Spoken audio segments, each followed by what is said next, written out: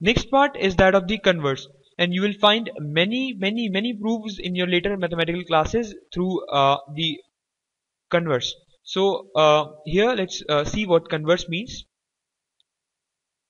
So uh, uh, first of all let's look at uh, do an example. If the physical environment changes then the biological environment changes.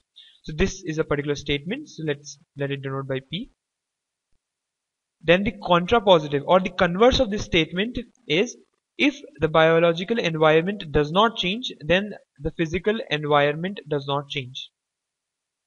So uh, so uh, what happens is that the contrapositive is basically uh, we, uh, for writing the contrapositive we generally write the negation of q first followed by the negation of p first by negation followed by the negation of p.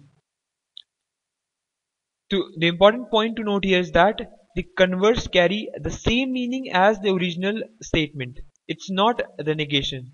It carries the same meaning as that of the actual statement of which uh, the converse has been written. Now the most important part of the uh, chapter is the validating statement. We've dis discussed what statements are. We've discussed various meanings of the symbols used in uh, making a statement. Now we come to see how to decide whether a statement is true or false. So as we have discussed in compound statements, uh, there are certain rules. So rule 1 states that if P and Q are mathematical statements, then uh, in order to show that the statement P and Q is true, we have to show individually that P is true and individually that Q is So to prove uh, P or Q is true, we, we can have three cases. Uh, the third case is when, case 3 is if P and Q are true. So we can have three uh, particular uh, cases in which the compound statement will be true. First one is when P is false and Q is true. Second is uh, when Q is false and P is true. And third is when both the statements are true. So we'll, in all the cases we'll have the statement, compound statement to be true.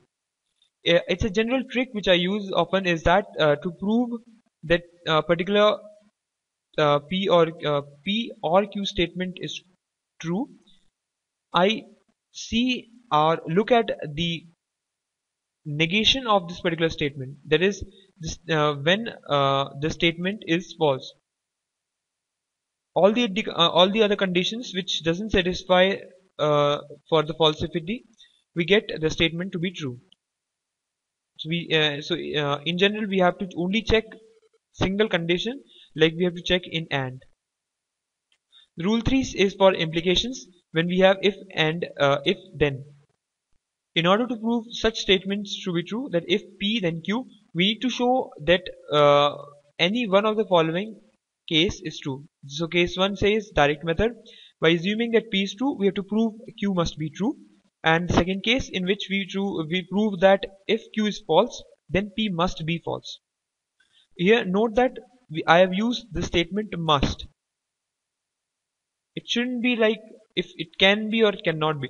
It should be something. It should be true or false. Next and last one is for uh, next rule uh, for if and only if. So in order to prove this we have uh, let's say we have a statement p if and only if q. We need to show that if p is true then q is true. And if q is true then p is true. It's uh, also written as p implies q this is a particular symbol which is used for representing this particular statement. This is uh, the thing I was talking about uh, at the converse part by contradiction. So what we do is that we prove very many questions by using the method of contradiction. In uh, the method of contradiction what we do is that a statement if a statement P is true we assume that P is not true. If we have to prove let's say let's uh, if to prove that P is true then we assume that P is not true. And in uh, our assumption we work out the uh, general things which are which are given and arrive at a contradiction. That is contradiction means we uh, arrive at a condition which uh, falsifies one of the earlier given statements. So uh, we have a contradiction there. And if we arrive at the contradiction it's simply that uh, our assumption that p is not true is false.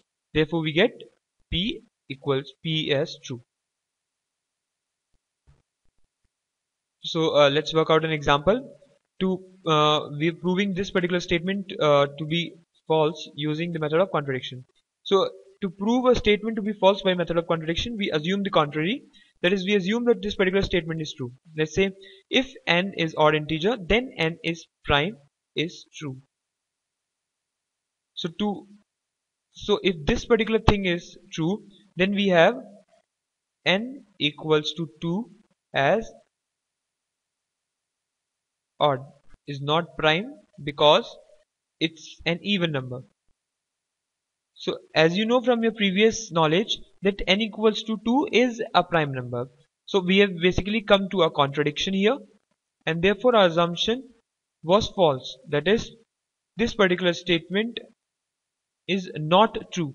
Therefore the statement is false